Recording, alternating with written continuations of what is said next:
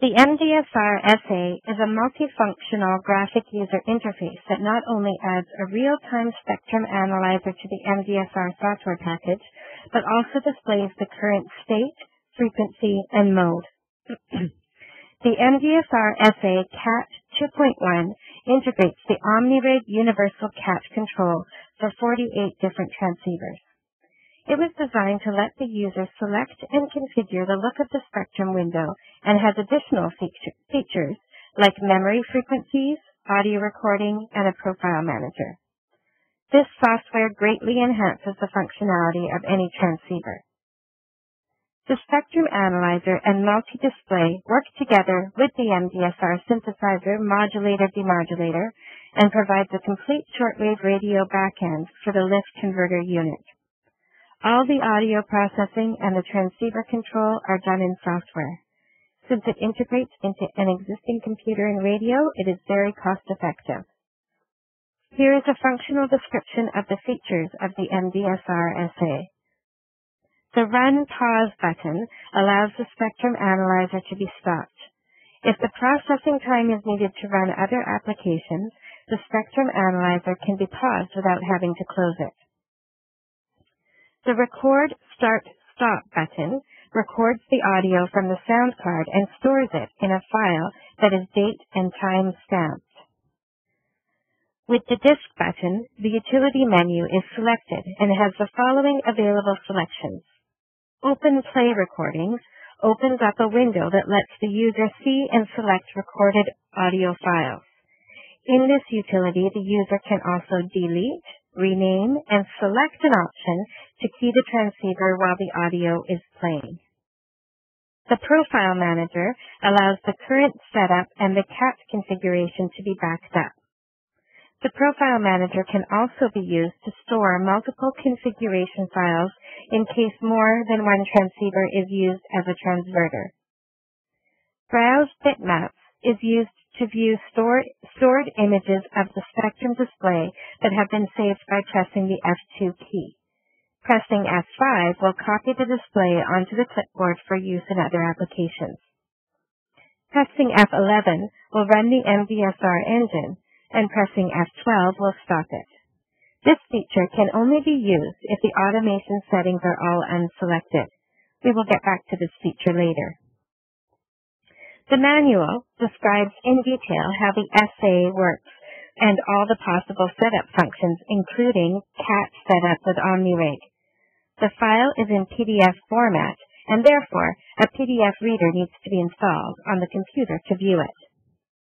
The manual and installation instructions for the MDSR software are also included in PDF format. Please refer to these documents for further instruction on how to use and set up the MDSR engine. The multifunction toolbar provides all the information needed to operate the transceiver from the computer display. The current frequency is, is displayed on the left side, and clicking on this field will open up the memory frequencies for each band. Clicking on each band selection will set the radio to the frequency that has been configured in the setup predefined frequency window. It is also possible to type in a frequency and send it to the transceiver via CAT control. The Setup Rig selection will bring up the user interface for the OmniRig setup. We will get to that later. In the current radio state window, the real-time RX-TX state of the radio are displayed. Even if the PTT is pressed on the radio, it will show that the radio state has changed. The current mode window displays the mode of the MDSR. Depending on the LO and the setting of the MDSR, the transceiver's mode is set to a mode permanently and the selection of the demodulation is set by the MDSR. This is referred to as the transverter mode. Only when the auto setup in the MDSR is set to lock to TXCR, the mode of the radio and the MDSR are locked together. More on that later. In the current cursor frequency window, the real frequency of the cursor position is displayed, and by left clicking, the VFO in the transceiver is updated. This can be used to select a carrier and to center it. The delta offset window gives the frequency offset reference to the VFO frequency from the current cursor position. The dominant frequency display shows the highest peak of the current spectrum. Left-clicking on it will update the VFO in the transceiver.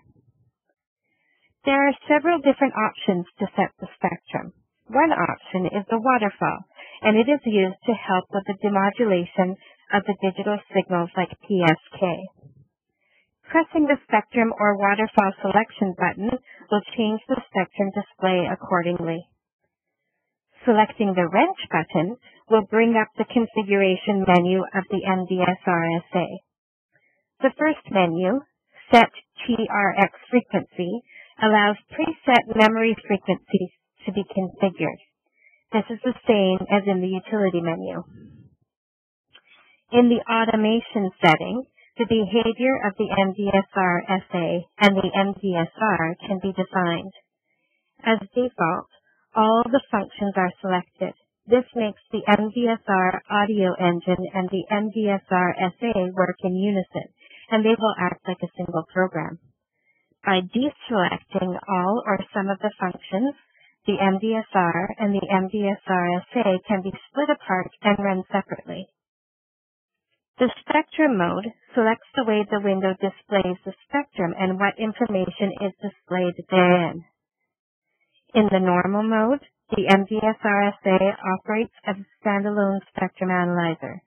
No BFO or bandpass information is displayed. In the full spectrum mode, the BFO location and the bandpass are displayed to allow for easier tuning. In the zoomed spectrum mode, the displayed bandwidth, bandwidth is lowered to plus or minus 6 kilohertz. The spectrum bar selection will let the user select the spectrum display mode, which can either be as bars or as a line. There is also a selection to display an oscillograph of the incoming LIF IF.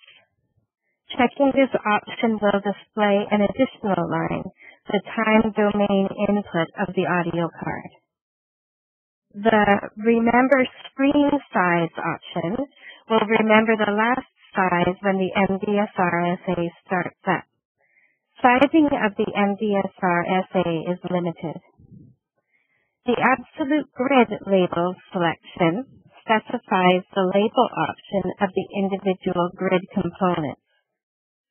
The domain frequency is only displayed in the multi in the multifunction bar when this selection is checked, customizing the display to suit anybody's preferences. In the calibration and customization window, the MDSR can be fine-tuned. A detailed description of all the functions and settings can be found in the MDSR manual. Be sure to know what the last setting was before making any changes.